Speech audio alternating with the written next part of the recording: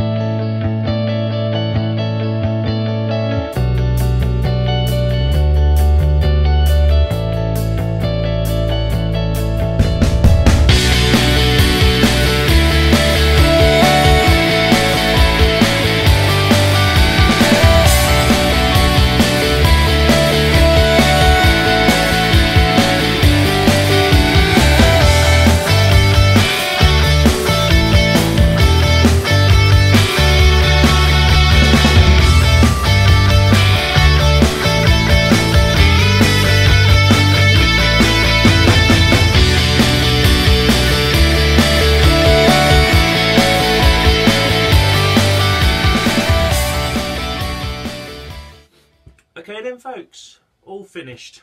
Hope you liked it. Hope you liked the series. Um, I thought I'd do it in three parts because it'd probably be probably have been about a 30 minute video otherwise and um, I'm still learning this editing lark as well so um, I hope you like it um, I thought I'd split it into three as well because it would be better viewing for everybody um, took a little bit longer than normal took this took about a week with all the editing as well because obviously I'm still learning so it took about a week um, it's a nice easy weekend project um, you could probably smash this out in a couple of days, two, three days, if you did want to have a go. Um, if I can help, just drop a comment um, and I'll help you with any sort of sizes I can.